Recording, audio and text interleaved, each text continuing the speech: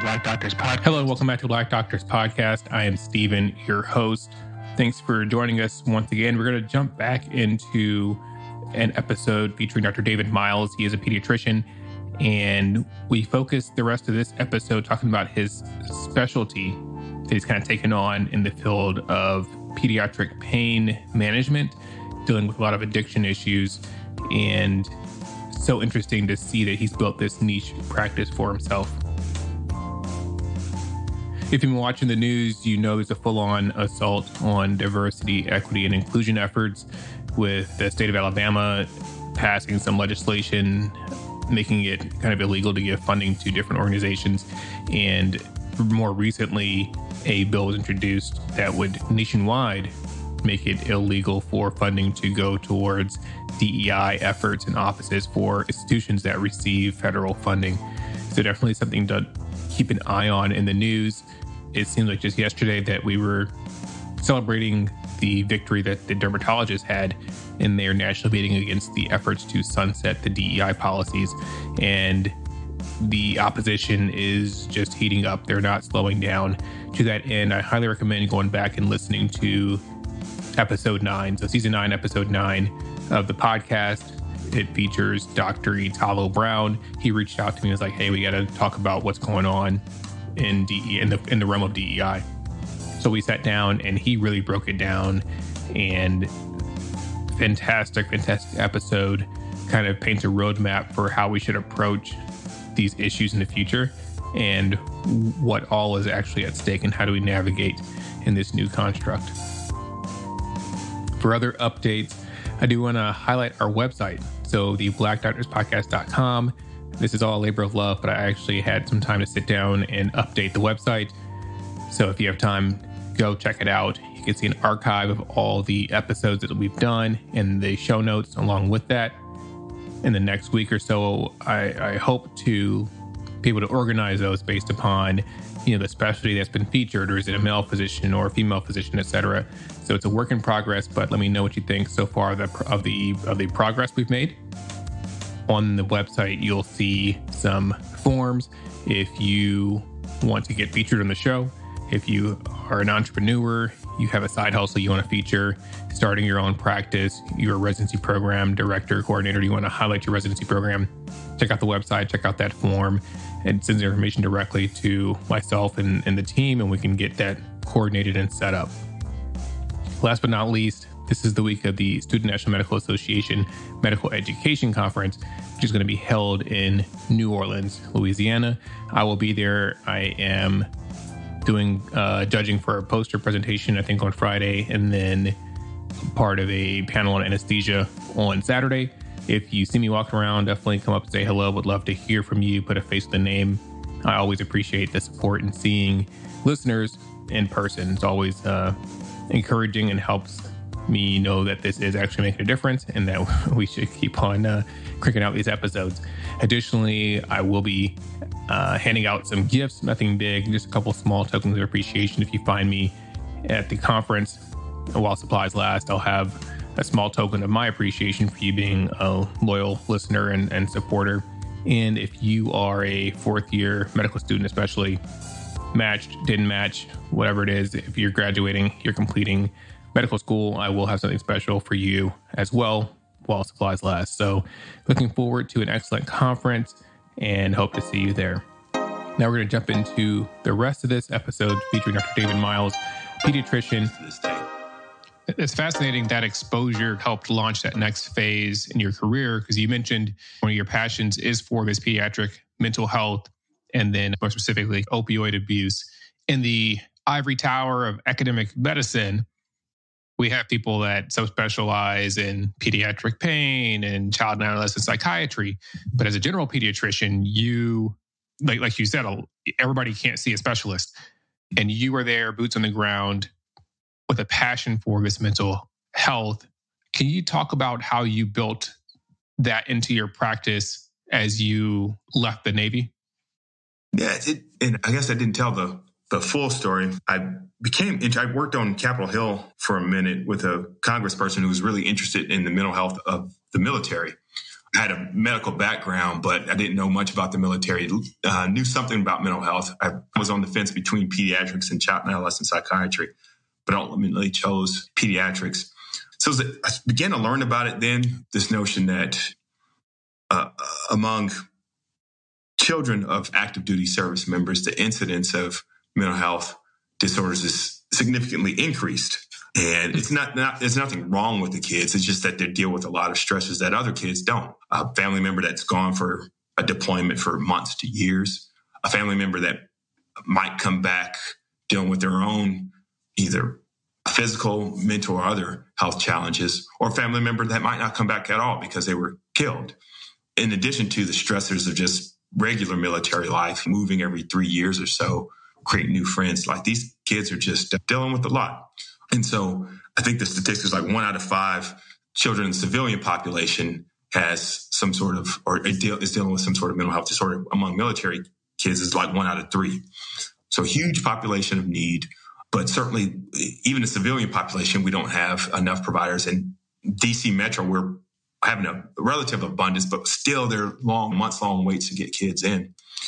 So there's been a realization from the, the providers of psychiatric services as well as uh, the generalists that more needs to be done from a funding perspective. That's working in Congress on that. How can we recruit or entice more medical students to enter psychiatry via, is it loan payback sorts of things, among others, to help incentivize that? To on the other side, it's like, well, we just have to deal with the situation we have. As generalists, we need to be more comfortable with managing that anxiety, depression. We can't just refer everybody out because there's just not enough providers. And that's, it's been a, a slow process, but we're getting better. I spend half my time seeing patients and other half my time teaching pediatric hmm. residents. And okay. they're much more savvy than I was 10 plus years ago when I was in training. I was wrong in that. Man, I'm getting old. but, and then the trick, the things that I'm less comfortable with that they're even more comfortable with is dealing with patients that might carry multiple diagnoses. So it might be a child who's dealing with ADHD in addition to anxiety or ADHD and depression.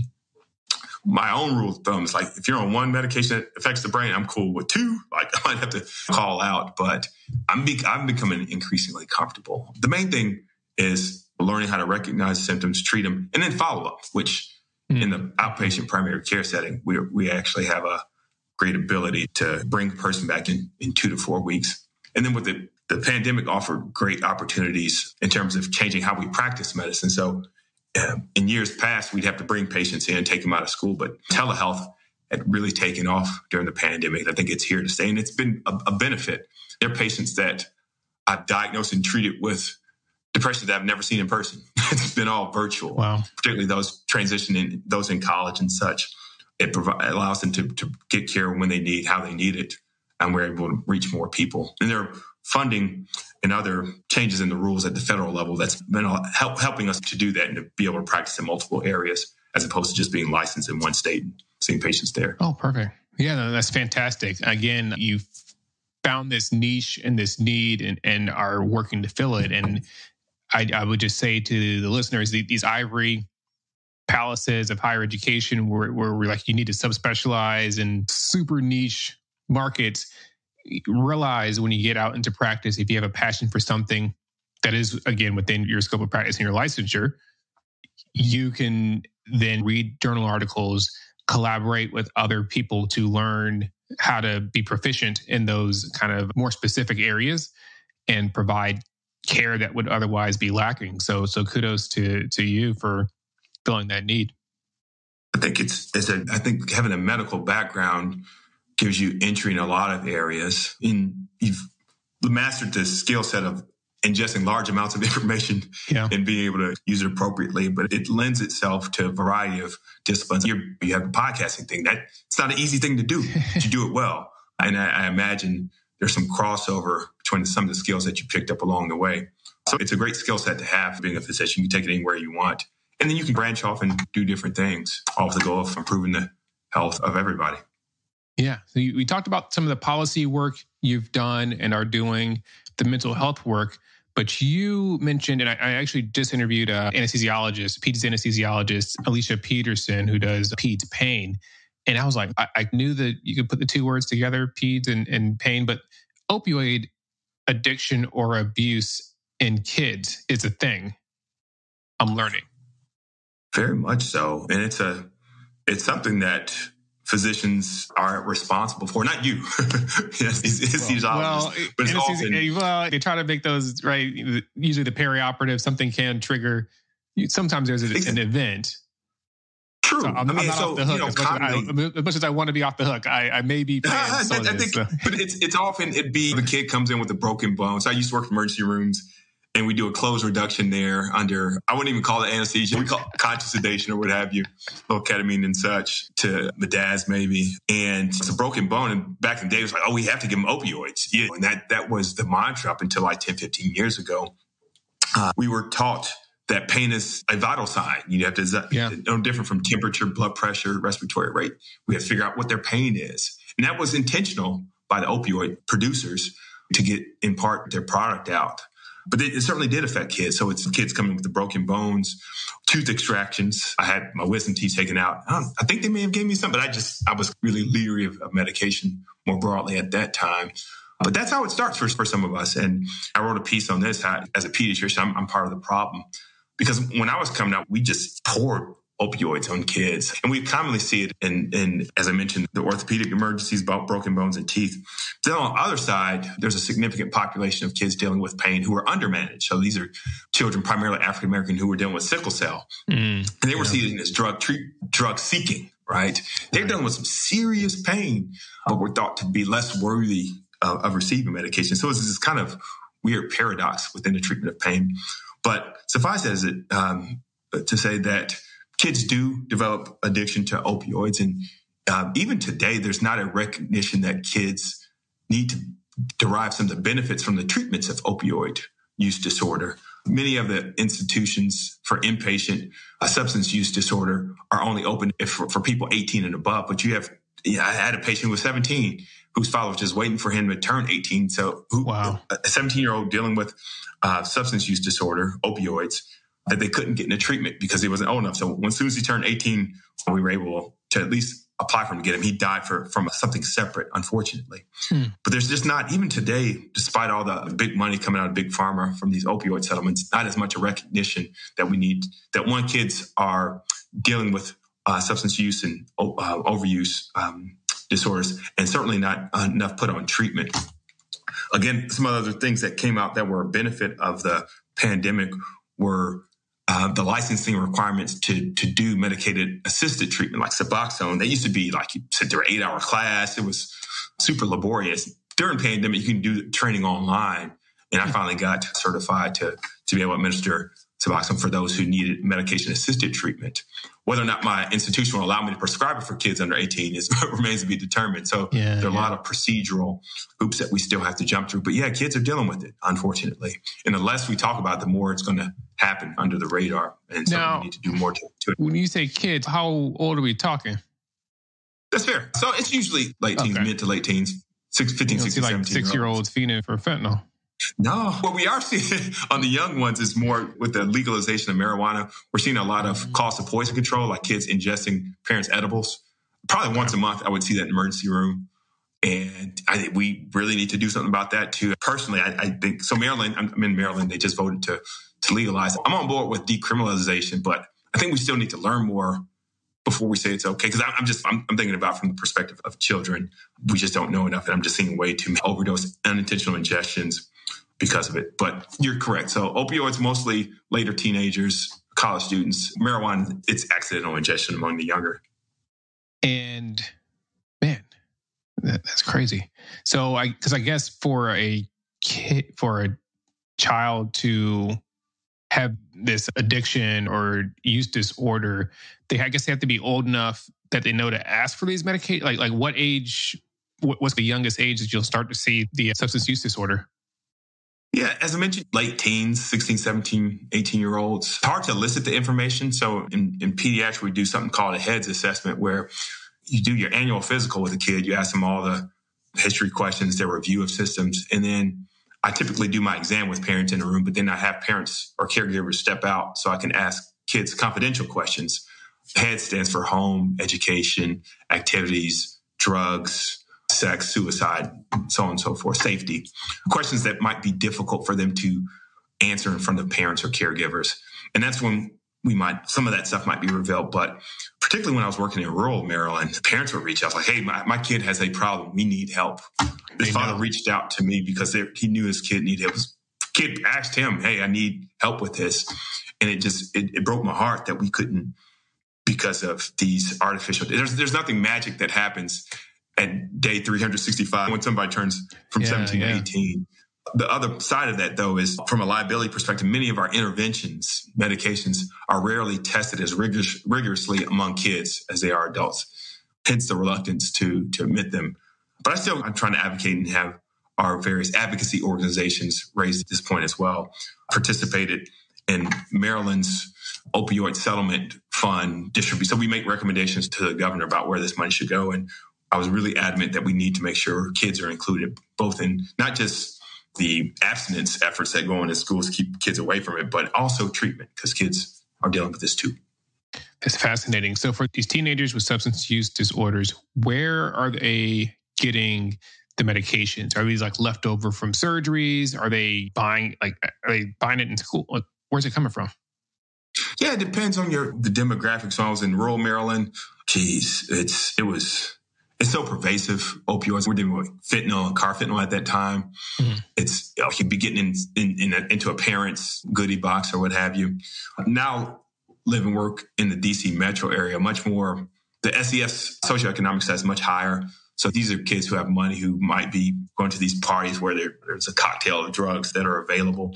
But it oftentimes, to your point, it starts with leftover medication that wasn't properly disposed from uh, a medical procedure, be it a tooth extraction or a, a, a, severe bone injury requiring opioids that folks just didn't get rid of stuff. Heck, I even looked in my own, own cabinet and there were some leftover opioids from when the wife was pregnant that I had to get rid of. So I took them to the police station.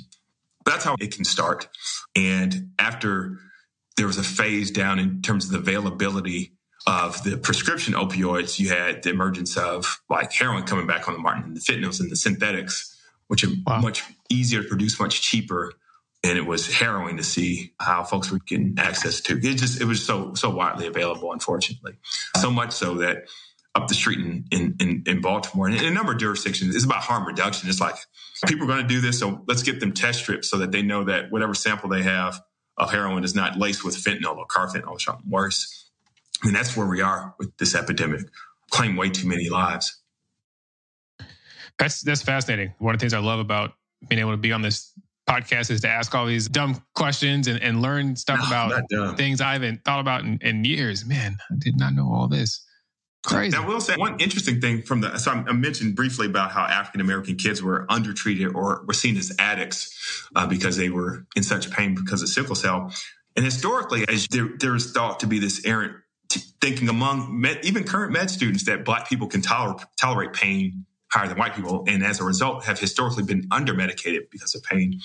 And what we've seen, at least here locally in the DC metro area, is that, or just nationwide, the percentage of people dying of opioids is oftentimes non, not, you don't see blacks as highly represented as, as a Caucasian or white folks in, in that regard.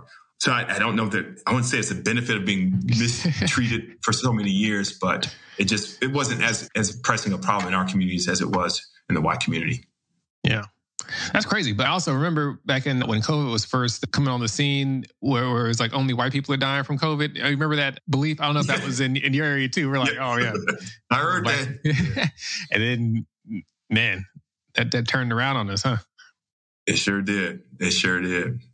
Mm-hmm. Awesome. Well, David, it's been great to connect, reflect on your practice in the Navy and the incredible things you're doing for this next generation, for our kids. As we start to close, I like to hear something that has recently inspired you, whether that's a book you read, um, a movie you watched, some music you heard. What's inspired you recently? Yeah, I think there, we're in, in turbulent times internationally and even locally. There's a couple wars going on that are highly publicized to the civil wars that are getting less press, a lot of suffering throughout the world we're coming up to a, a major election now. Um, and I think the older I get, the more the more depressing the news sounds. so I, I, just read, um, I'm reading a, a, book, a collection of, of stories by Alice Walker, speeches and such addresses she's given called We Are the Ones We Have Been Waiting For. trying to figure out how to find peace when the world seems to be on, on fire. It's marrying this notion of we hear this adage, grant me serenity to accept the things I cannot change, courage to change the things I can, and wisdom no difference. Operating from that standpoint, there's some things that are out of our control. And from a self care perspective, physicians in particular, we saw an uptick in suicides among us, uh, a lot of burnout during the pandemic. Self care is huge. We go into the uh, caring profession, but we also all, oftentimes, sometimes we can internalize, take all that stuff home with us, but it's figuring out a balance of how to self preserve while continuing to fight the good fight. And yeah, this book, this collection of readings is giving me some, some perspective on that. Yeah. What's the name of it again? We are the ones we have been waiting for. All right. It came out a while ago, probably like 08 or something like that, 06. Uh, something that's been on my list for a long time, but I, I, read way too much history, which is can be depressing too. so I have to like spice it, mix it up sometimes, something that's a little more uplifting. Awesome. That's that's incredible. I'm trying to think of what I've been inspired by. Not uh, actually mentioned it. Yeah, is the news is rough. I have been. I don't know if it's inspiring or not, but when you s- begin to develop solidarity with different groups of people, people that have seen enough of something to where it, it encourages them to act and to move in in the right direction that's encouraging that uh, we haven't lost our collective moral compass. There's still some people out there that right. are willing to say and do the right thing, no matter the the cost, and it gives me encouragement to do the same thing. Obviously, there's some discretion depending on your background, the culture in which you work or live, but it's encouraging and, and it gives me strength to, to use my voice to speak out against things that that I think are wrong. So it's awesome, man. Yeah. And just know that the work that you're doing is inspiring to me personally. I was reading your story again, and I remember back to when I was at Camp Lejeune. So I was at 03, but you were 04.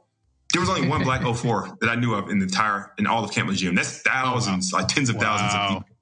That's huge. That's huge. And when I got on the ship, I met my first, no, two 05s who were African American men. Huge. Just your presence is inspiring more than you may know. I, I appreciate that. Well, that that is it gives me the encouragement to get on here every week. Obviously, with the help of some incredible co-hosts, Dr. Nate Jones, Bianca Bush, he comes on quite frequently, and obviously amazing guests like yourself that make this uh, podcast possible. Thank you, thank you all for what you all do. Please keep it up and take care of yourselves, man. Absolutely, Dr. Myles. Thank you for coming on the Black Doctors podcast. We're here because representation matters. Always, thank you. Thanks so much for tuning in to this week's episode of the podcast. If you haven't already, go to iTunes, Spotify, wherever you listen, leave a review, leave a rating that helps the show grow. Every now and then we pop up on the top 200 charts uh, for for Apple. It's always special and lets me know that the show is getting out to the right people and that it's helping folks. And always interested to hear what you want to hear on the show. We do kind of cater this to pre meds or medical students or resident physicians, and, and we'll be working on some content preparing folks for intern year. That's right around the corner. If you haven't had a chance, visit the website www.theblackdoctorspodcast.com. You can even leave a voice note um, and and contribute to the show. So we're excited to have that as a feature as well. Thanks so much for tuning in to the Black Doctors Podcast. We're here because representation matters.